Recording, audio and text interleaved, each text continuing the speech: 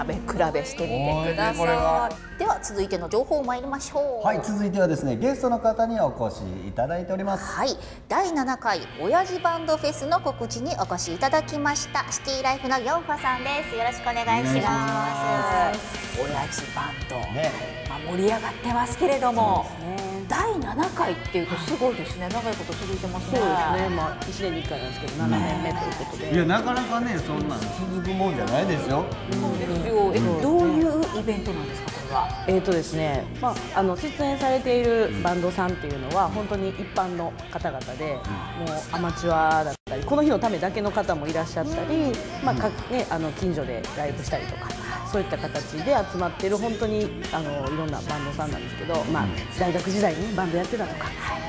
また同窓会きっかけにこう結成再結成みたいなのとかですね。大体40代から60代還暦の方とかもちょっと子育て仕事を一段落して、そうなんですよ。いらっしゃったりとか。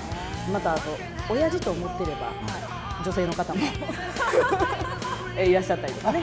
もう自分が親父と思っていれば。じゃない。んですねそうです。女性の方もそうです自分のことをわしとか言ってるね。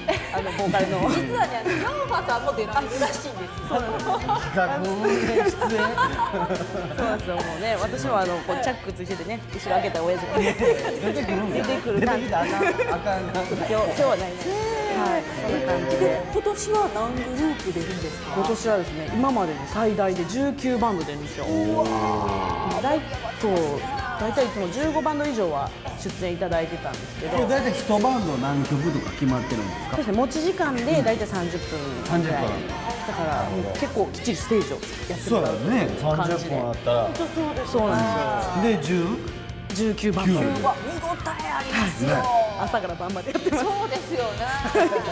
親父たちが。そうなんですよ。熱気にあふ。まあだから普段もやってる人もいればこの日のためにかけて。そうですね練習してっていう方もいらっしゃる。ねいるから。でまあここにチラシがあるんですけれどもね。注目もあのバンドもいっぱい書いてるんですが注目バンドは？そうですね、やっぱり今年はね、あのビートルズデビュー50周年ということで、まああの第1回から出てらっしゃるビートキッズさんというバンドなんかは、本当にあの4人でやってるんですけど、リンゴスターの人はリンゴのカツラかぶってたりとか、もうなりきってはそうなんですよ。で、あのポールのポジションの人はベースの人はレフティーで、本当に本人右利きなんですけど、演奏するためにはいレフティーで やってらっしゃるっていう、だからビジュアルバーンビートルズなんですよ。はい。そうなんですかでまあ、もう一バンドねビートルズの方もいて90分ドーンとビートルズを楽しんでもらおうというビーズアワー。はい。そうです感じで。これはまた50年に一度しかない記念の年ですからね。そうですね。あとは、まあ普段ドラマ中にそうそうどんな。そうですね。あとね税理士さんの方々が集まった、あのバンドさんとかですね。ちゃんと弾けられるんですか？意外とこれがねみんなお揃いの T シャツ作ったりとかして やってらっしゃったりとか、あとまあ歯医者さんであったりとか。はい。はい。あなんかもう歯医者さんなんかっていう音が多そうやわね。そんなことないそう聞きすぎてなんかもうすげえあの慣れてもうてるから。めっちゃアコースティックジャックみたいなね。感じで。普段の職業と照らし合わしながらこう見ていくのも、はい。ね意外な。あとでも音楽だけじゃないんでしょやっぱり。い。ろいろと。ちょっとそこは若い子のライブとは違うところですよね。ね。ええ。そうなんですよ。ちゃんとやっぱホテルでやるっていうので、まあ、クリスマスの時期っていうのもあるんであのせっかくなんでご家族とかお友達でクリスマスパーティーのつもりでもこうね楽しんでいただきたいなということでホテルのシェフが腕を振るった。でも結構カジュアルな料理もあったりガーンとステーキとかですね、それちょっとあの屋台形式でチケットでこう何百円とかそうなんですよじゃないですかで好きなものをね好きな時にこう買ってでテーブルで食べていただきながらステージ楽しむ。あれですね出演者の皆さんは普段はおあの親父や親父やって息子娘に言われてんねんけど、ね。ここでこうかっこよさを多分見せるんでしょうね。シュッとして。やっぱりそうなんですよでまあこのイベントそもそもがね、やっぱりあの若い子子供たちにお父さんの勇姿を見せてですね大人になるのってかっこええなみたいな感じを思ってもらったらいいなっていうところから始まってまして仕事を真面目にしながら遊ぶところは遊んで趣味でこう爆発できると。すごい。ね人生を謳歌しようっていういいイベントですよこれはね。お客さんでもですね、はい、83歳のおじいちゃん、えー、名物の方がいたいらっしゃるお客さんそうそうそう。お客さんじゃなくてお客さんおじいちゃんが毎年来てくださって、はい、元ボクサーの方でツイッターでは有名なんです。めっちゃおもろいな。83歳でねあの趣味がクラブライブ通い。マジですか？ずっと踊ってる。そのおじいちゃんも認めたというこの親父。だから絶対今回も来ると思うもちろん。そのおじいちゃんも見て。ぜひ来ていただいたらと思います。はい。ください。ということでこちらの親父バンドですね。12月23日日曜祝日ですね。ホテル阪急エキスポパークオービットホールで開催されます。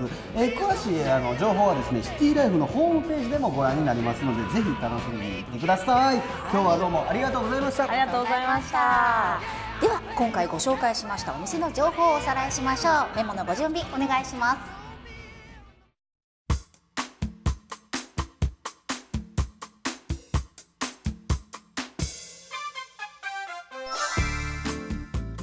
今回は大阪市住之江区南港中にあります。総愛大学に来ています。ニュートラムポートタウン東駅から歩いてすぐのところにあり緑豊かなキャンパスが素敵な大学です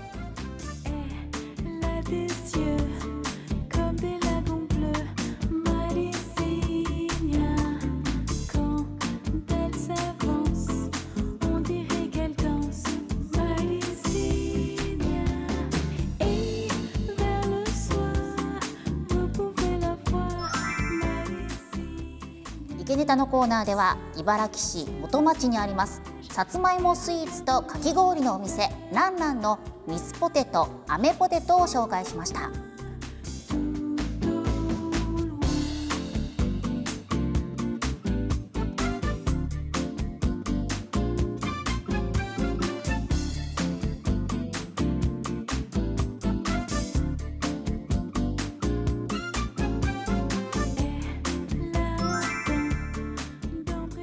最後に紹介したのは12月23日ホテル阪急エキスポパークで開催される親父バンドを紹介しました。